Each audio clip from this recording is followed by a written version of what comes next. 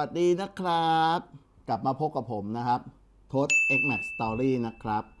คลิปนี้นะครับ เดี๋ยวผมจะมารีวิวนะครับ หมวกกันน็อกนะครับ รุ่นใหม่เพิ่งออกใหม่มาเลยนะครับ แล้วก็ต้องบอกว่าเป็นรุ่นพิเศษด้วยนะครับ ก็หมวกกันน็อกนี้ครับเป็นของยี่ห้อบิวม r a นะครับ ก็เป็นรุ่นพิเศษนะครับ คืออมีทั้งเป็นหนังแล้วก็ภาพยนตร์นะนะครับซึ่งในอดีตเนี่ยนะครับ เรื่องเนี้ย ฉายเคยฉายในเมืองไทยแล้วล่ะ ซึ่งเขามีอายุเก่าแก่กว่า 50 ปีนะครับ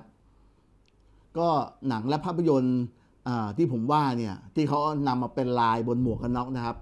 ก็เป็นรุ่นนะครับคือ Kamen Rider นะครับซีรีส์นะครับที่บอกว่า Kamen Rider Series ก็เพราะว่าเขาไม่ได้ออกมาแค่ลายเดียวนะครับ เขาออกมากันถึง 6 ลาย เด็กสมัยเนี้ยก็จะรู้จักแต่ซูเปอร์ฮีโร่นะครับ ถ้าบอกว่าซูเปอร์ฮีโร่เนี่ยรู้จักกันเลย แต่ซูเปอร์ฮีโร่ในยุค 70 80 90 เนี่ยนะครับ ก็คือในยุคของผมเนี่ยแหละ ก็ต้องรู้จักเจ้าตัวนี้นะครับ ที่เรียกว่าไอ้มดแดงคาเมนไรเดอร์นะครับ ก็กลับมาต่อ เขาออกมาทั้งหมด 6 ซีรีส์นะครับ ก็จะประกอบไปด้วย เรียกว่าไอ้มดแดงนะครับ ได้แก่ V1 นะครับ ก็ดูตามรูปนะครับนี่ผมขึ้นไว้ให้ อันนี้คือ V1 นะครับ แล้วก็มี V3 นี่นะครับ V3 แล้วก็มี V5 นะครับนี่ตามรูปนะครับ อันนี้คือ V5 แล้วก็ V6 นะครับ อันนี้แห่งตัวแห่งอ่าลุ่มน้ำอเมซอนนะครับนี่ V6 แล้วก็ V7 นะครับนี่ V7 อันนี้ 5 5 แบบนะครับ ต่อไปรุ่นสุดท้ายนะครับ เรียกว่าเจ้ากิกกี้นะครับ กิกกี้ก็คือเป็นลูกสมุนนะครับ หรือตามภาษาเราจะเรียกให้มันโดนโดหน่อยเรียกว่าไอ้ลูกกระจอกนะครับ เรียกว่ากิกกี้นะครับนี่คือรุ่นนี้นะครับ ก่อนอื่นเลยนะครับ เดี๋ยวเรามาดูกันที่ตัวกล่องเลย อันนี้กล่องเขานะครับ ก็หมวกทุกใบนะครับ ถ้าใครไปซื้อมาเนี่ยก็จะได้กล่องแบบนี้มา นี่นะครับนี่ ก็เป็น c a m e n Rider นะครับนี่เขาจะมีโลโก้มีเขียนว่า 50 ปีนะครับ ก็ทั้งหนังและภาพยนตร์ของ c a m e n Rider นะครับ ก็เกิดมาตั้งแต่ปี 1971 นะครับ ถึงปี 2021 ก็ 50 ปีแล้วนะครับ ก็ทางบิบูล่าเขาเลยไปซื้อรายลิขสิทธิ์นะครับ ของไอ้มดแดงเนี่ยนะครับ ในประเทศไทยเนี่ยมีหมด 6 แบบด้วยกันนะครับ ก็มาทำเอามาลงบนลวดลายของหมวกบิบูล่าเขา นะครับนี่เนี่ยนะครับของบิวโมล่านะครับนี่อะเดี๋ยวผมมาแกะกล่องให้ดูนะครับ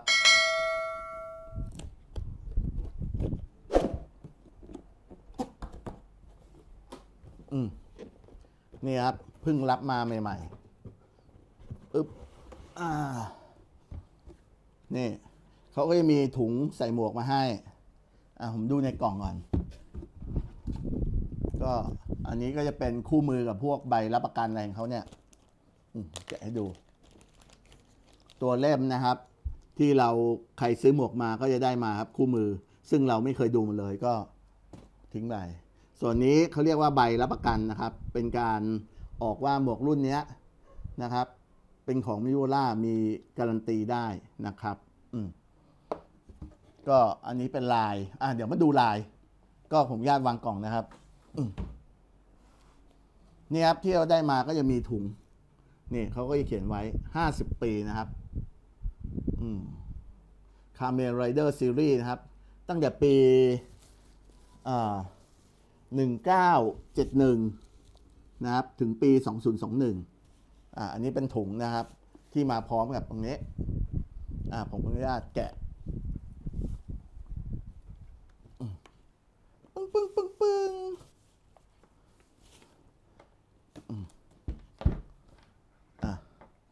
นี่ครับถุงเขาให้มาเป็นถุงใส่หมวกนะครับ ต้องบอกว่าขนาดเป็นแบบอย่างหนานะครับเนี่ยอย่างหนา อะมาวางมาดูหมวกดีกว่า อืม เดี๋ยวผมขออนุญาตแกะ ตรงนี้ให้ท่านผู้ชมได้ดูกันชัดๆเลยก่อนนะครับ เนี่ย อะอันนี้ผมแกะนะครับพลาสติกที่เขาคุมชิวหน้าเรียบร้อยแล้วนะครับ เนี่ย อะมาชมโฉมกันนะครับ เต็มๆนะครับ ก็อันนี้เป็นหมวก c a m e n Rider นะครับ ของ b i l m u r a นะครับ ก็อันนี้เป็นไอ้มดแดงนะครับ วีนอึ่งอะนะครับอะมาชมโฉม อันนี้เป็นด้านหน้านะครับนี่นี่บริเวณด้านหน้าลวดลายเขาเหมือนปากไอ้มดแดงครับเขาถอดแบบมาจากนะครับ ตัวการ์ตูนเลยเนี่ยในภาพยนตร์นะครับเนี่ยอันนี้คือปากเหมือนไอ้มดแดงเลยนะครับนี่อืมอันนี้ด้านข้างนะครับนี่ด้านข้าง นะครับด้านหลัง นี่นะครับ สัญลักษณ์ของ V1 เขาเข็มขัดเขาจะเป็นแบบนี้ มันก็จะหมุนนะครับ เวลาเขาแปลงลงแปลงล่างเนี่ยตัวเนี้ยนะครับนี่สัญลักษณ์ของ V1 เขาอืมอ่ามาชมด้านด้านบนกัน ด้านบนศีรษะนี่ครับประมาณนี้อืมนะครับเขาก็จะมียี่ห้ออ่าบิโมล่านะครับนี่ตรงนี้อยู่นะครับนี่แล้วก็ บริเวณตรงอะด้านหลัง นี่เขาเขียนว่า Mark Rider นะครับนี่แล้วก็ชิลที่เขาให้มาครับ เป็นออกสีประหลอดออกทองทองออกสีแดงๆนะครับนี่นี่นะครับนี่สวยเลยเงาแวบเงาแวบนะครับ แล้วก็เขามีดีไซน์สปอยเลอร์หลังมาด้วยนะครับเนี่ยเป็นเหมือนกับ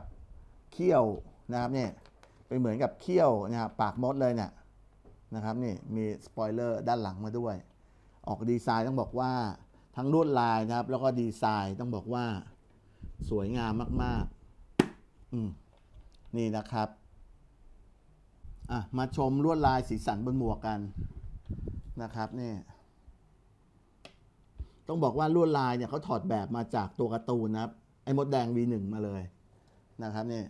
อันนี้ก็จะเป็นสีนะครับเนี่ยสีขาวเขียวดำนะครับ แล้วก็มีแดงผสมมานะครับเหมือนตัวไอ้มดแดง V1 นะครับถ้าใครได้เคยชมหรือชมในทั้งหนังภาพยนตร์นะครับ หรือว่าในพวกซีดงซีดีนะครับสมัยนี้หรืออยากเข้าอยากรู้จักคาเมนไรเดอร์ไอ้มดแดงครับ เข้าไปดูใน YouTube ก็ได้นะครับ ก็มีอยู่นะครับ แล้วเขาก็มีเนี่ยยี่ห้อ Bilmola นะครับ แล้วก็มีโลโก้นี่50ปี เห็นไหมครับนี่ ก็ไอ้มดแดงครับ เกิดในปี 1971 นะครับ ปีนี้ปี 2022 แล้ว ก็ลบไปนะครับ อืมนี่ครับลวดลาย บอกว่าสวยงาม อืมเส้นสายบอกว่าโดดเด่นนะครับ อืมผมเชื่อว่าเอ่อถ้าผู้ชมที่ชมอยู่เนี่ย พอเห็นแล้วคงอยากได้แน่นอนนะครับเนี่ย เพราะผมเห็นใน Facebook ที่เขาลงเนี่ยต้องบอกว่าโดนนะครับ เพราะผมเป็นคนชอบไอ้มดแดงอยู่แล้ว อ่าต่อไปเรามาพูดกันเรื่องของตัวสเปคหมวกกันนะครับเนี่ยตัวสเปคหมวกนะครับเนี่ยตัวบริเวณหมวกกันน็อกเนี่ยเขาก็ทำมาจากตัวอ่า shock thermoplastic resistant นะครับ ก็คือเป็นพูดง่ายเป็นพลาสติกชนิดหนึ่งแต่ว่า เขาอยู่ในเกรดดีนะครับ ซึ่งมีความแข็งแรงทนทานนะครับ ทนต่อการกระแทกได้เป็นอย่างดีนะครับนี่นะครับ มาดูช่องลมช่องลมเนี่ยเขาจะมีทั้งหมด 3 ช่องนะครับนี่บริเวณบนศีรษะนะครับนี่ด้านซ้ายและด้านขวานะครับนี่นี่เปิดปิดอยู่นี้นะครับนี่เข้า 2 นะครับ แล้วก็ออกด้านหลังนี่สปอยเลอร์บอกว่าสวยเลยทีเดียว นะครับเป็นเหมือนเอเขาเรียกอะไรเขี้ยวมดฟันมดเนี่ยนะครับสวยเนี่ยตัวด้านลมออกก็อยู่ใต้เนี่ยสปอยเลอร์เนี่ยครับเข้า 2 ออก 1 นะครับ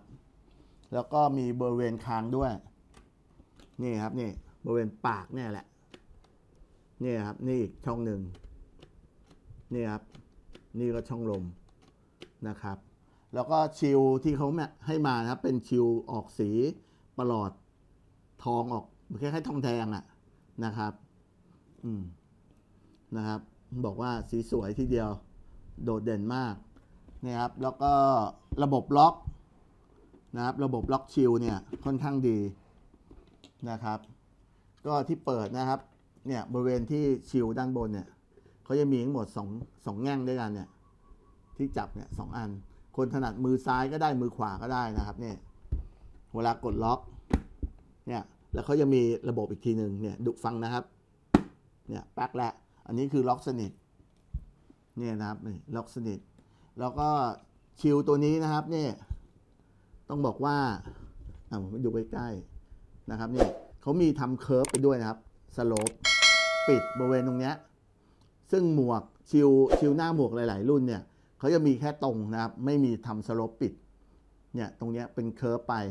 เรียบ แนบชิดกับหมวกเลย ก็คือเขาจะช่วยลดเรื่องของเสียงลมนะครับ ที่จะเข้าไปภายในหมวก ต้องบอกว่าตัวนี้เขาทำมาดีมากนะครับ แล้วก็ภายในตัวด้านในนะครับ ก็ยังมีขอบยางอีกนะครับ ก็คือกันเสียงลมเข้านะครับ แล้วก็เวลาเราปิดชิลเนี่ย ตัวชิลมันก็จะแนบกับตัวขอบขอบยางด้านในนะครับ ก็มีทั้งบริเวณรอบหน้าเราเลยเนี่ยต้องบอกว่านะครับมันทำให้ ช่วยให้เสียงลมเนี่ยมันเงียบขึ้นนะครับเนี่ยคาเมนไรเดอร์นะครับซีรีส์ก็สามารถรองรับนะครับสำหรับใครที่สวมใส่แว่นตาภายในนะครับ พวกคนที่มีปัญหาสายตาเนี่ยมีใส่แว่นสายตาอยู่ก็สามารถใส่ได้นะครับนี่นี่เขามีรูปเนี่ยเห็นไหมครับเนี่ยสำหรับคนเนี่ยใส่ใส่แว่นตาได้ครับ ขาใส่เขาจะมีช่องไว้ให้นะครับ อืม อะมาดูวัสดุภายใน นี่ครับนวมอมนวมภายใน ต้องบอกว่าก็หนากระชับดีนะครับ เท่าที่ดูแล้วก็นุ่ม นุ่ม นุ่มดีเลยนะครับ แล้วก็หนาด้วยอืมอะต้องบอกว่าหมวกรุ่นนี้นะครับ นี่ไม่มีแว่นภายในนะครับ นี่ เป็นแว่นมีชิลชั้นเดียวนะครับ ก็ชิลตัวนี้มีผลิตจากตัวโพลีคาร์บอเนตนะครับ แล้วก็เขามีเคลือบสารกันรอยไว้ด้วย พวกคำว่ากันรอยคือพวกรอยขนแมวนะครับเล็กๆน้อยๆนะครับ แต่ไม่ใช่เอาเอาอะไรไปขูดนะครับเนี่ยก็ถลอกเหมือนกันนะครับ แต่ถ้ารอยเล็กๆน้อยๆเนี่ยต้องบอกว่าป้องกันได้นะครับ แล้วก็ อืม นี่สำหรับใครที่ต้องการหมวกที่มีช่องสำหรับใส่ลำโพงเนี่ยเขามีตัวช่องเว้า เพื่อใส่ลำโพงบลูทูธไว้แล้วนะครับนี่ทั้งสองข้างนะครับมผมไม่รู้ อาจจะไม่เห็นนะครับ เพราะว่าอันนี้เขาทำนวมมาค่อนข้างดีเลย คือแน่นหนา แต่ว่าผมบอกได้ครับมีแน่นอน นี่อ่าในเรื่องของนวมเขานะครับก็สามารถซึมซับเหงื่อได้ดีนะครับ แล้วก็แห้งไวนะครับ แล้วก็เนี่ยป้องกันพวกเชื้อลงเชื้อราอะไรได้ด้วยนะครับ แต่ให้ดีก็สวมโม่งนะครับเนี่ยสวมโม่งหรือผ้าบัฟอะไรก็ได้ ก็ได้รักษาหมวกคุณนะครับ ไม่ให้มีกลิ่นเหม็นด้วยนะครับอืมก็นี่ภาพโดยรวมอะเดี๋ยวผมมาสวมใส่ให้ดูนะครับอ่าตอนนี้นะครับผมสวมโม่งแล้วครับเนี่ย ก็เดี๋ยวเรามาใส่หมวกกัน อะ ก็เวลาผมทำคลิปนะ ผมก็จะมักจะบอกไว้เสมอนะครับสำหรับใครที่เพิ่งมีหมวกใบแรกนะครับ แล้วก็โดยเฉพาะที่เป็นหมวกเต็มใบนะครับ คือวิธีการสวมหมวกกันน็อกที่ถูกต้องนะครับเนี่ย เนี่ย จะบอกว่าข้างใต้เนี่ยเขาก็จะมีสายอยู่สองเส้นเนี่ย คือสายรัดคางนะครับเนี่ย เวลาใส่เนี่ยให้เราแยกสายออกมาสองข้างครับ ดึงได้ฉีกได้นะครับเขาไม่ขาดนะครับ รับประกัน อืมแล้วก็เวลาสวมนะครับ อืมอ่าผมข้างหันข้างให้ดู เวลาเราสวมเนี่ยนะครับ เราจะสวมจากด้านข้างด้านหลังนะครับ ด้านหลัง เนี่ยสวมลงมาปุ๊บดึง แล้วก็ดึงมานะครับนี่ อันนี้คือการสวมหมวกที่ถูกต้องนะครับเนี่ย ก็จะเป็นแบบนี้ แล้วก็เราสามารถขยับนิดๆหน่อยๆได้นะครับ แล้วก็หมวกที่ดีก็คือ เวลาเราใส่แล้วเนี่ย เวลาเราบิดเนี่ยนะครับ หน้าเราจะต้องหันไปด้วยนะครับ เนี่ย บิดแล้วหน้าเรา แต่ถ้าเราเกิดบิดหมวกหมวกไปนะครับ แต่หน้าอยู่ที่เดิมนั่นคือหลวมนะครับ ไม่ปลอดภัยนะครับ แนะนำนะครับ ก็ไปดูนะครับว่า การวัดขนาดไซส์ของหมวกแต่ละรุ่นเนี่ยเขาเป็นยังไง ดีสุดคือไปลองเอง อะ มาดูกันนี่นะครับนี่ด้านหน้านะครับนี่ด้านข้างอ่าผมปิด อืม นี่นะครับ ด้านนี้ อืม นี่นะครับ อืม ต้องบอกว่าเป็นหมวกที่นวมใส่แล้วกระชับนะครับ ที่ผมใส่อยู่คือไซส์ M นะครับ อืม ก็ประมาณนี้ ต้องบอกว่าโอเคนะครับ มุมมอง อืม นี่มุมมอง มุมมองบอกว่ากว้างระดับหนึ่งเลยนะครับ แต่ว่าคราวเนี้ยเนื่องจากตัวชิวหน้านะครับเขาเป็นตัวชิวประหลอดนะครับ แล้วก็ออกสีแดงๆทองๆเนี่ย กลางวันเนี่ยโอเค กลางคืนเนี่ยผมว่าถ้ามีแสงเนี่ยเห็นได้นะครับ แต่เข้าไปในที่มืดเนี่ยก็จะมีปัญหาหน่อยนะครับสำหรับหมวกสำหรับชิวหมวกที่เขาติดมานะครับนี่อืมอะโอเคนะครับ เดี๋ยวผมขออนุญาตถอดหมวกครับผมอะผมลืมบอกไปนะครับ ตัวสายรัดคางเนี่ยเขาเป็นระบบอ่ากิฟล็อกนะครับ คือแบบถอดเข้าถอดออกง่ายนะครับเนี่ย เป็นแบบแท่งเสียบขั้นบันไดเนี่ยนะครับ ก็คือสวมใส่เข้าออกง่าย แต่ว่าปลอดภัยนะครับ ส่วนมาตรฐานนะครับเขาก็ได้รับมาตรฐานนะครับ ทั้งมกของไทยนะครับ แล้วก็ตัว ECE ด้วยนี่นะครับ ECE นะครับอันนี้คือมาตรฐานของยุโรปนะครับ ก็คือหมวกใบเนี้ยสามารถไปขายในที่ในทวีปยุโรปได้นะครับ เพราะมีมาตรฐานยุโรปรองรับนะครับ อืม อืม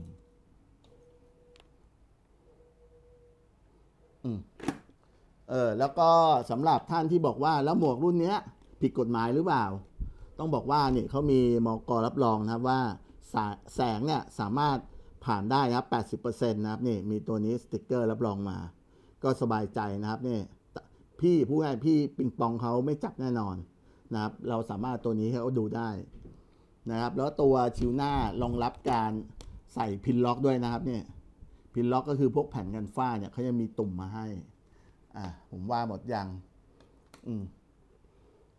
อะโอเค อันนี้คือหมวกกันน็อกนะครับ ที่มีเรื่องราวของเจ้า c a m e Rider Series นะครับ อืมเนี่ยเขาก็ถ่ายทอดมาไว้บนหมวกกันน็อกนะครับ ไว้หมดแล้ว อะอะลืมไป ลืมอีกแล้ว ในเรื่องของไซส์หมวกนะครับสำหรับหมวก c a m e Rider Series รุ่นนี้ครับ เขามีตั้งแต่ไซส์ S นะครับ M L XL นะครับนี่ย้ำ S M L XL 4ไซส์นะครับนี่มาให้เลือก ผู้หญิงก็ใส่ได้ครับไซส์ S นะครับอืมแล้วก็เป็นหมวกทรงไม่ใหญ่มากนะครับ ส่วนน้ำหนักก็อยู่ที่ประมาณ 1,400 นะครับเนี่ยอันนี้ไซส์ M นะครับ 1,400 กรัมบวกลบ50 นะครับ ก็ไม่หนักมากที่ไม่หนักเพราะว่าไม่มีแว่นภายใน นะครับนี่โอเค ก็สำหรับราคานะครับนี่บอกเลยสำหรับใครที่สนใจครับมองหาอยู่ ราคาอยู่ที่ 2,490 บาทนะครับพูดง่าย 2,500 มีทอน 10 บาทนะครับสำหรับใครที่สนใจครับก็ไปหาเลือกซื้อได้นะครับ ตามร้านตัวแทนจำหน่ายของบิโบล่านะครับ ก็หรือว่าในทางออนไลน์ก็มีนะครับ ไม่ว่าจะเป็น ช้อปปี้ลาซาด้าอะไรพวกนี้เนี่ยไปหาเอานะครับ ราคา 2,490 บาท โอเค วันนี้ผมก็มารีวิวให้ท่านผู้ชมทุกท่านได้รับชมกันนะครับ กับเจ้าหมวกบิวล่ารุ่น c a m e Rider Series นะครับ โอเค ครับผมขอบคุณนะครับที่รับชมก็อย่าลืมนะครับ ช่วยกดติดตามนะครับ แล้วก็กดกระดิ่งให้ด้วยนะครับ จะได้ไม่พลาดคลิปใหม่ ๆ ของช่อง XMAX Story นะครับ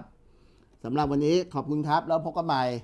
กับคลิปของ XMAX Story ในคลิปถัดไปนะครับสำหรับวันนี้ลาไปก่อนครับ สวัสดีครับผม บ๊ายบายครับ